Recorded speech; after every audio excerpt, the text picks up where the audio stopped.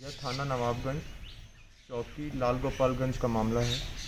दिनांक 10 एक 2022 को लगभग 10 बजे पुलिस को यह सूचना प्राप्त हुई थी कि उमेश पटेल उर्फ़ गुड्डू और विनोद साहू के बीच में नशे की हालत में पुराने विवाद को लेकर कहासुनी हो गई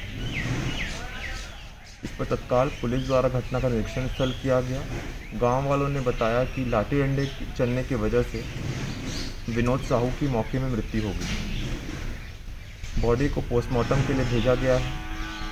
विनोद साहू के परिजनों से तहरीर प्राप्त की गई है। मुकदमा पंजीकृत कर दिया गया है। इसके अलावा मुकदमे में नामजद अभियुक्त उमेश पटेल उर्फ़ गुड्डू पुलिस की हिरासत में है। उससे और पूछताछ की जा रही है। अन्य अभियुक्तगण को पकड़ने के लिए टीमें लगी गई हैं।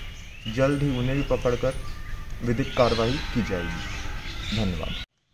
यह थाना नवाबगंज, चौकी लाल गोपालगंज का मामला है।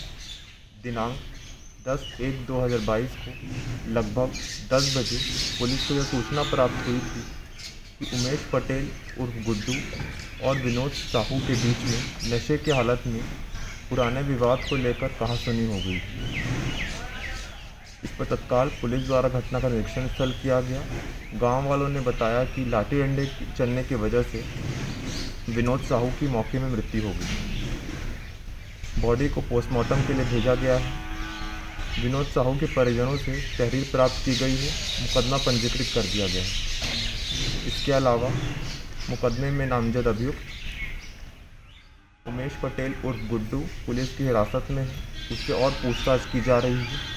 अन्य अभियुक्तगण को पकड़ने के लिए टीमें लगी गई हैं। जल्द ही उन्हें भी पकड़कर विधिक कार्रवाई की जाएगी। धन्यवाद।